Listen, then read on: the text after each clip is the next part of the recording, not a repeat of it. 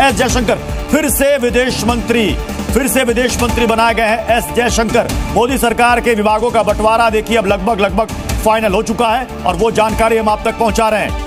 लेकिन एक चीज़ याद रखें डॉक्टर जयशंकर को as a third time second time foreign minister लेके आना मिनिस्टर फॉर एक्सटर्नल लेके आना मतलब it's it's all very important it's significant I, Subrahmanyam Jaishankar, do swear in the name of God that I will bear true faith and allegiance to the Constitution of India. अच्छा जो भारत के वज़ीर खारजा हैं जयशंकर साहब 1977 में जनाब उन्होंने इंडिया की फॉरेन सर्विस ज्वाइन की 1977 में और 2019 2019 में वो वज़ीर खारजा बने 2019 में इससे आप अंदाज़ा लगा लें कि कितने बरस के बाद तकरीबन 32 साल नौकरी करने के बाद वो मुल्क के वज़ीर खारजा बने। नरेंद्र मोदी प्राइम मिनिस्टर हमारे उनको फॉरेन पॉलिसी बहुत पसंद है और वो तो फॉरेन पॉलिसी हर लीडर को एक मौका भी देती है दुनिया भर में जाने का। हमारे वोटर देखते हैं कि आप सबसे मिल रहे हैं। तो वो तो मैं कहूँगा कि फिर स्टेरॉइड्स पे होगा और भी आगे आगे चलेगा। क्योंकि उनको भी ये भी दुनिया को प्रूव करना है कि ये सरकार स्ट्रांग है रोबस्ट है ये अनस्टेबल नहीं है कुछ चेंज नहीं हुआ है। मोदी 3.0 ने तो काम करना शुरू कर दिया है। और अगर आप ये देखें कि किस स्पीड के साथ डॉक्टर जयशंकर जो है उसने मुलाकातें शुरू कर दी हैं और उनको इस चीज़ का अंदाज़ा है एक तरफ़ पाकिस्तान को आइसोलेट करना है। आज़म साहब अपनी हर चीज़ को कंपेयर करते हैं इंडिया के साथ और बांग्लादेश कभी जयशंकर के साथ कंपेयर करके देखें कभी उनकी फॉरेन मिनिस्ट्री के ऑपरेशन को भी करके देखें और कभी अगर उनके पास रिपोर्टें मौजूद हो तो जरा ये भी कोशिश करके देखें कि वॉशिंगटन डीसी में इंडियन जो डिप्लोमेटिक मिशन है वो किस तरह बिहेव करता है। जय हिंद दोस्तों। दोस्तों, आपको ये चीज़ तो पता है कि नरेंद्र मोदी जी तीसरी बार भारत के प्रधानमंत्री बने। लेकिन उसी के साथ साथ दोस्तों, हमारे विदेश मंत्री जयशंकर साहब भी दूसरी बार भारत के विदेश मंत्री बनने जा रहे हैं लगातार। और दोस्तों, पिछले पाँच साल में जयशंकर साहब ने क्या किया वो मुझे बताने की ज़रूरत नहीं है।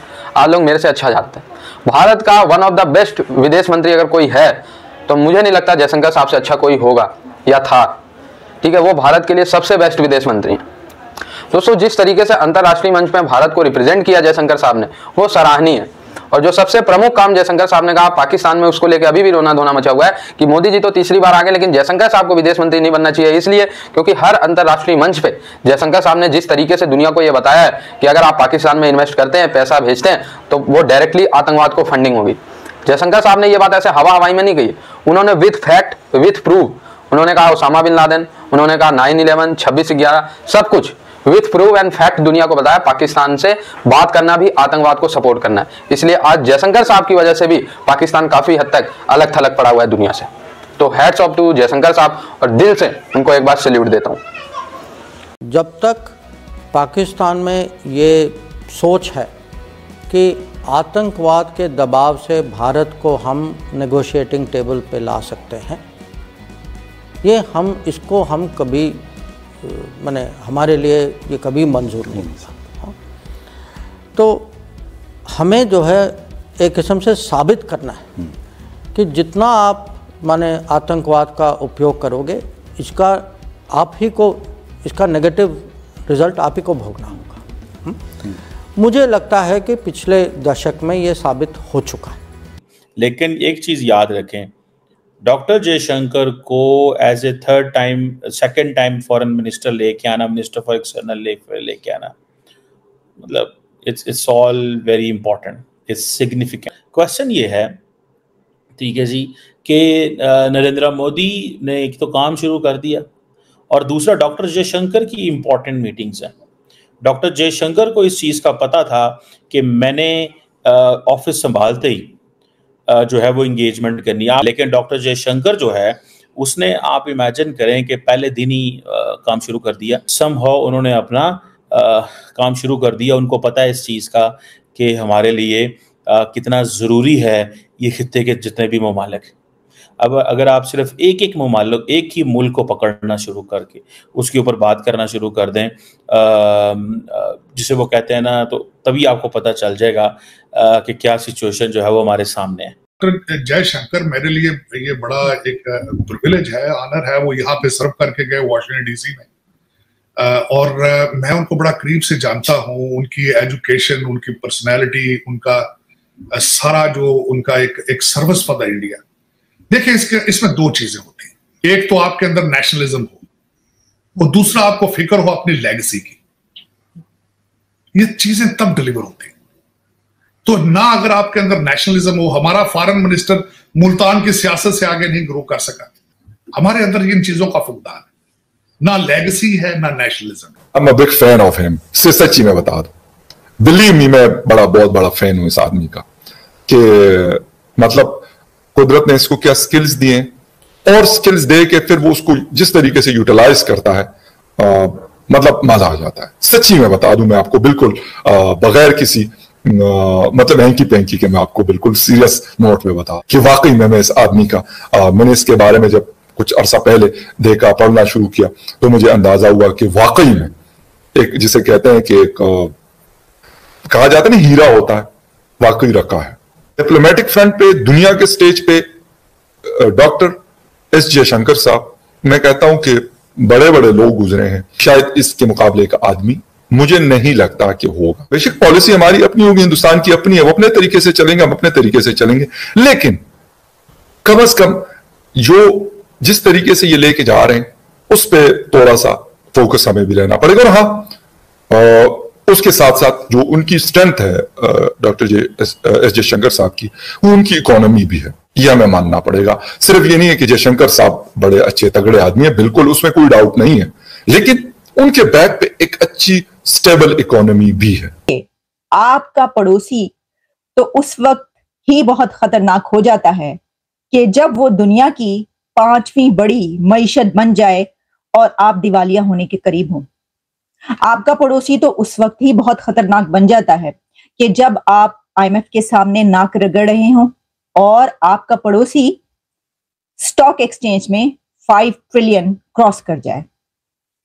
आपका पड़ोसी, आपका नेबर तो उस वक्त ही बहुत खतरनाक हो जाता है कि जब पूरी दुनिया के डेलीगेशन वहाँ पर जा रहे हों और वहाँ पर पूरी दुनिया की इन्वेस्टमेंट आ रही हो और आपको खाने के लाले पड़े हों। आपका पड़ोसी आपका नेबर तो उस वक्त ही आपके लिए बहुत खतरनाक हो जाता है कि जिस वक्त आपका और उसका कोई कंपैरिजन ही नहीं रह, रहता आपका और उसका कोई कंपैरिजन ही नहीं हो सकता। अब ये जो मैं बार बार कह रही हूँ आपका पड़ोसी तो उसी वक्त बहुत खतरनाक हो जाता है। ये पाकिस्तान भी इसको ले सकता है और ये इंडिया भी इसको ले सकता है। कि फिर दोनों पड़ोसी दोनों नेबर्स एक दूसरे के लिए खतरनाक हो जाते हैं क्योंकि जो गुर्बत है वो भी एक बहुत बड़ा जुर्म है और गुर्बत को छुपाने के लिए भी बहुत से जराइम किए जाते हैं या खत्म करने के लिए रोटी के लाले पड़े हों और दूसरी तरफ़ जब आपके पास ताकत आ जाए तो फिर आपके सामने कुछ नहीं रहता। फिर आप कहते हैं कि अब हमारे पास सब कुछ है, हम अपने पाँव पर खड़े हैं तो अब कोई कुछ करके दिखा दे। मेरा एनालिसिस ये है, मेरा तजिया ये है कि खतरनाक होना इस तरीके से तो शायद कुछ भी नहीं है। कि किसी ने बॉर्डर क्रॉस करके दहशतगर्दी वहाँ पे की, किसी ने बॉर्डर क्रॉस करके दूसरी तरफ़ जो है वो उसको फाई लगा दिया। असल में वो भी अपनी जगह पर है। जितने हमले होते रहे, जो कुछ होता रहा, दोनों के भी वो वो अपनी जगह पर। लेकिन असल में रियलिटी ये है, अगर आप गौर करें तो खतरनाक होना डेंजरस होना ये है कि आप ज़मीन पर हो और दूसरा आसमान पर हो। आप चाइना के थ्रू कोशिश करके अपना मून मिशन करवाने की जो है वो जिद्दोजहद में और जबकि दूसरा, दुनिया की बड़ी स्पेस एजेंसी नासा के साथ मिलकर स्पेस प्रोग्राम्स कर रहा हूँ। चाँद पर पहुँच गया तो दोस्तों, जयशंकर साहब की मैं जितनी भी तारीफ़ करूँ, उनके विदेश नीति की जितनी भी तारीफ़ करूँ, वो कम है। लेकिन एक बार हमारे विदेश मंत्री जयशंकर साहब ने एक बुक लिखी और उसका समारोह हो रहा था तो उसमें उन्होंने बताया कि विदेश नीति की जितने भी टैक्टिक्स हैं, उन्होंने रामायण और महाभारत से सीखी है। ठीक है तो दुनिया के हर मंच में जब उनसे कोई पूछता है कि यार आप इतना अच्छे विदेश मंत्री कैसे हैं तो वो कहते हैं कि मैंने कुछ नहीं किया, बस मैंने भारत के एनिशियंट जो बुक्स हैं, चाहे वो चाणक्य की बुक हो, चाहे वो रामायण हो, महाभारत हो, मैंने बस उनको रीड किया और उनसे शिक्षा ली है। इस वजह से विदेश नीति में हमारी थोड़ी मोड़ी सफलता हमें मिल जाती। है ये जयशंकर साहब के वर्ड्स थे एग्जैक्टली exactly. तो हर जगह जयशंकर साहब भारतीय को प्रमोट करते हैं। बड़े बड़े आते हैं, वो कहते हैं, हमने अंग्रेज़ों की बुक पढ़ी, ये बुक पढ़ी, वो बुक पढ़ी। अपने भारतीय संस्कृति को कभी अंतर्राष्ट्रीय मंच पर नहीं ले जाते। लेकिन नरेंद्र मोदी जी और जयशंकर साहब के नेतृत्व में आज हमारी परंपरा अंतर्राष्ट्रीय मंच पर भी जाती है। पाकिस्तान और चाइना को तो जिस तरीके से जयशंकर साहब ने औकात दिखाई, वो तो है ही सराहनीय। लेकिन इसी के साथ साथ जो यूरोपीय देश हैं, जो अपने आप को भारत से या तमाम एशियन देश से सुपीरियर मानते हैं, वो चाहे रसिया से ऑयल लेना हो, ठीक है, चाहे इसराइल को सपोर्ट करना हो चाहे यूएसए और भारत की रिलेशनशिप हो और भारत उन, उनमें जो है बराबरी का हिस्सा माँगता हो कि हम यूएसए के सामने झुकेंगे नहीं। उन सब पे, चाहे वो कनाडा के खिलाफ हो, जयशंकर साहब ने ऐसे ऐसे जवाब दिए कि पूरी अंतर्राष्ट्रीय मीडिया शांत हो जाती और जयशंकर साहब की तारीफ़ करने लगती। तो भाई, इसीलिए मैं कहता हूँ, जयशंकर साहब से अच्छा भारत के लिए विदेश मंत्री कोई नहीं है। एटलीस्ट इस समय तो कोई नहीं है। ठीक है? और भाई नरेंद्र मोदी जी को भी इसमें क्रेडिट जाता है कि उन्होंने दूसरी बार लगातार विदेश मंत्री के तौर पे जयशंकर साहब को कंटिन्यू करा। वरना ऐसे ऐसे विदेश मंत्री आते थे जिनको कुछ पता ही नहीं होता था विदेश मंत्री बन क्या करना। तो इससे भारत की इमेज घटती थी। जुड़े रहे ऐसी वीडियोस के लिए, तब तक के लिए धन्यवाद, जय हिंद।